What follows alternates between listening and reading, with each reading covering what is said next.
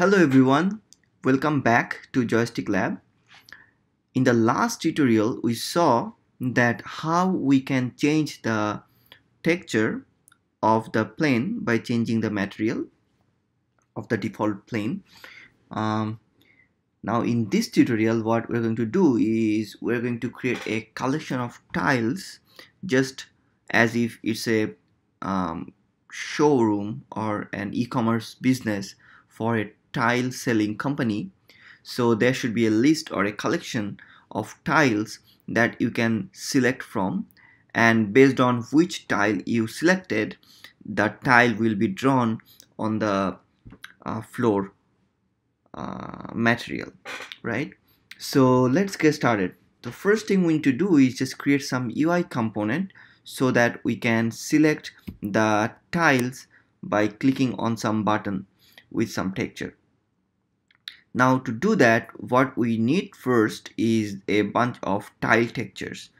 So I already have uh, some textures downloaded. I also recommend you to do so. And when you are done you can come back and start the video again. So for this tutorial we're going to use on-screen UI that means the UI element should be on the um, screen space right? But uh, in future tutorials in some of the other um, projects I'll show you how to create a spatial UI that means the UI should be in the world space right? So to create an UI the first thing we need to do is like create a canvas. So I'm just going to right click UI and if I select a panel that will automatically create a canvas for me now the panel is basically going to act as a holder. So we basically don't need the image component in it. So uh, what we need to do is click on the panel select this small rectangle in the uh, inspector window that will show you all the anchors. And then if you hold shift plus alt or option in the Mac. So you can see that there is different options right? So I'm just gonna select this one. So that means it will stretch the panel and always going to be fit on the screen. Okay. Also in the canvas we need to make sure that the UI scale mode is selected as scale with screen size. This is going to help us to make our UI responsible with any kind of screen resolution right? In the in the reference resolution what I do there is different ways of uh, handling this. You can put a really big number on the reference resolution. What I like to do is just select one of the resolutions from here maybe the biggest one which is this. This is going to be my maybe sorry uh, this one? No. This one? Yeah. And then I can uh, just put that value. So 2160 and then 1018 right? You can do uh, it different ways as well. Again like I said the value you can just put a really big value here. Or maybe you can select um, this one and then you can say 80 and uh, 480 in the Y so it's up to you but make sure you be consistent with it. And in the match I'm just gonna say 0.5 okay now that we have a canvas with a panel we should create another panel that is going to hold our um, that is going to hold all the buttons right? So um, I'm just gonna go to UI and then create a panel. Scale this down again go to the um, stretch mode hold shift alt and just to select the lower bottom right and stretch it. So this is going to be the texture holder. Okay great. Now what we need to do is um, add a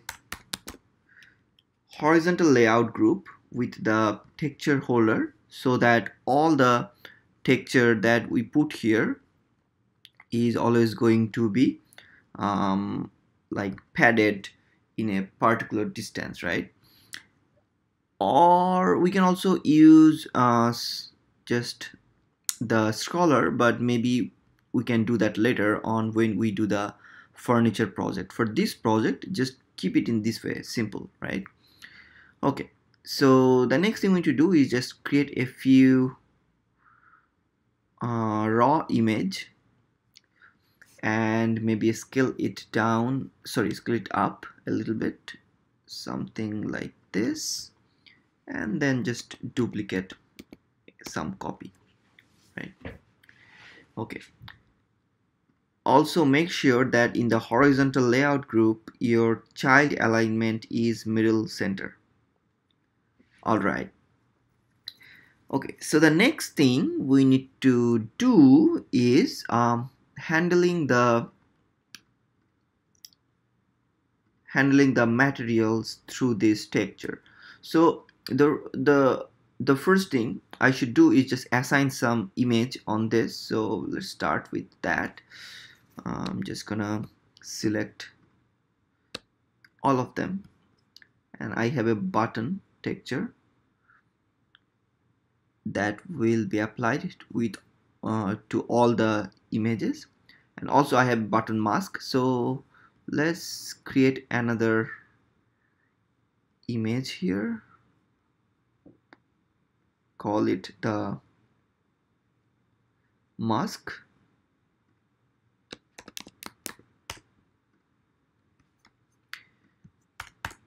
and apply the button mask here. Maybe just make it a sprite and then apply the button mask here. That's great. Uh, and finally we need to add a mask script. I'm just gonna delete all of this. Maybe just do it later. Just do it for one of them first and then just duplicate that right? That makes more sense. Okay. So this is my this is going to be going to be my mask. So I'm just gonna make it a little bit bigger.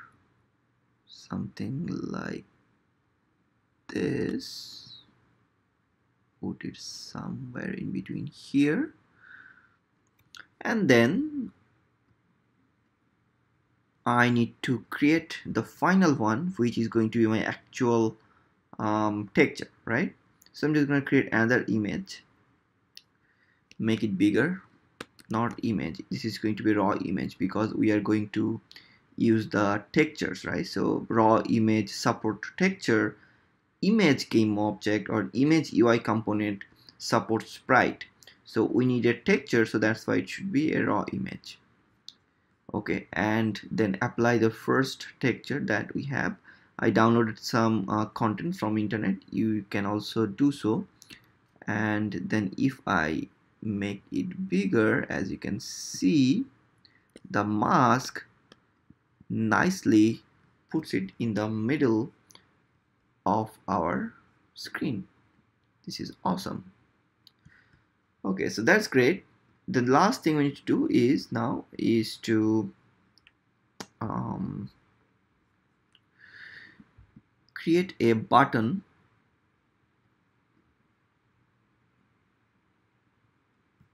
right create a button. You can do it in multiple ways.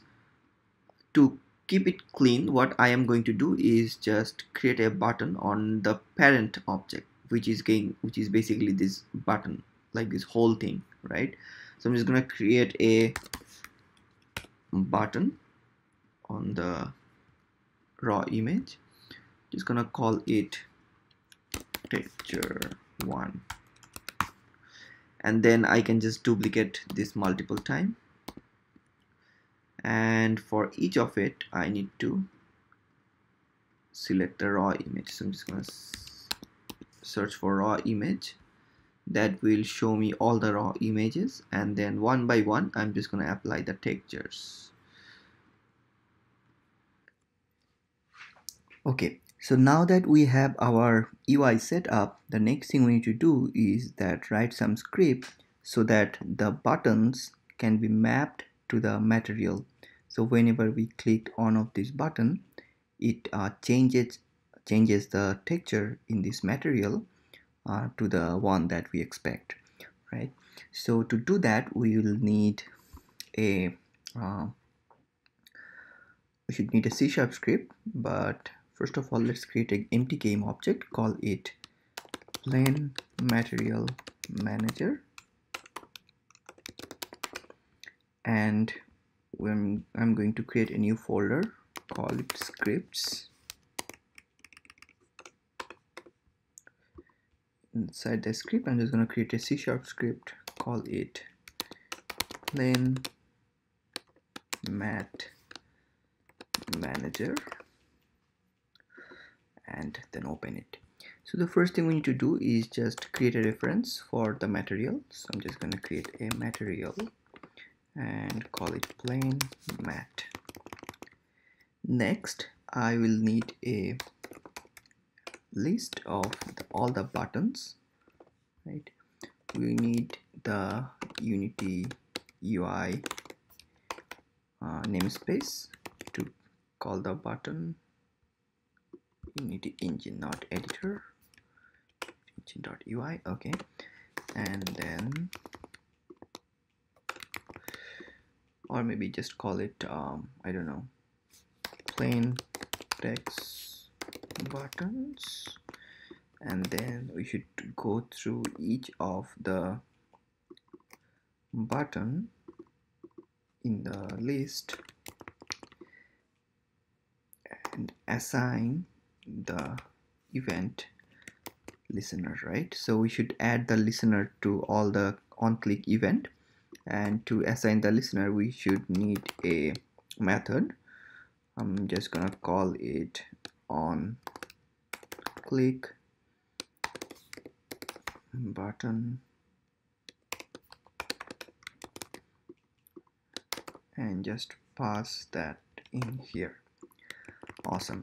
So now I'm also prefer to uh, do everything in the awake because awake is called before start. So we can make sure that this is executed um, before the app is basically started okay so not the app started I mean those as soon as the app starts we should make sure that this block of code is uh, running right? So that's why I'm putting in it in the awake it sh start should also work. Okay. Now the next thing we need to do is go to the plane manager add the script which is the plane mat material drag and drop the material here. We have multiple buttons. So what I'm going to do is just first of all lock this game object.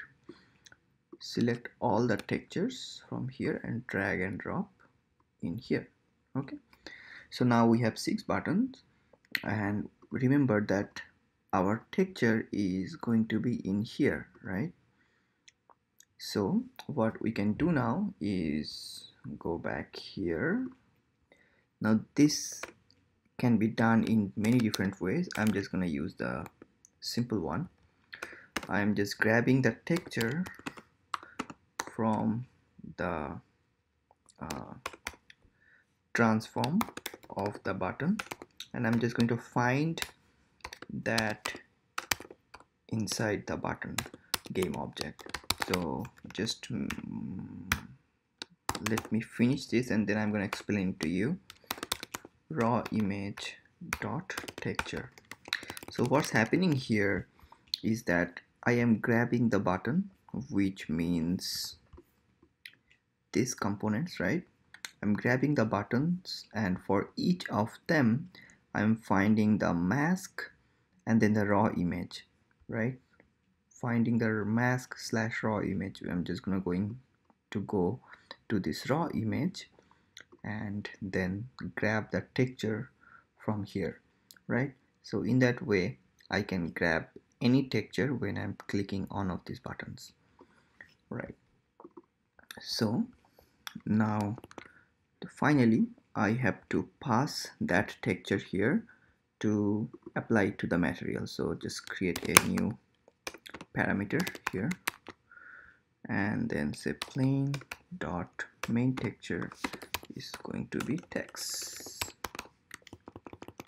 okay. And just pass that here. This variable should go here. Because this is a listener we need to do that. Okay. That's good. Awesome. So yeah now that we have everything set up if you build and run the project you will see that if we select one of the tiles the tile in the plane the texture in the plane gets changed with the particular uh, tile. Alright so you created your first app with AR Foundation. Pretty simple but pretty useful as well. So you can use the same concept to draw different texture on the wall by going here. If you see that there is a detection mode which is everything so this is also going to detect the vertical planes right? That means the walls. So say you want to um, draw some different kind of wooden texture in the wall you can do it in the same way. Or maybe your application is only about the horizontal plane the floor then you can just select the horizontal right? So yeah that's all about it. And in the next tutorial we're gonna explore more about it and we are going to start a new project which is going to be the IKEA AR Apps clone. If you haven't checked it yet, just I'm just gonna keep a link in the description box. Check the IKEA app developed by the um, IKEA company and you'll see that they're using augmented reality to design their interior environment with different kind of furniture. So we're going to do the similar kind of stuff um, in the next course.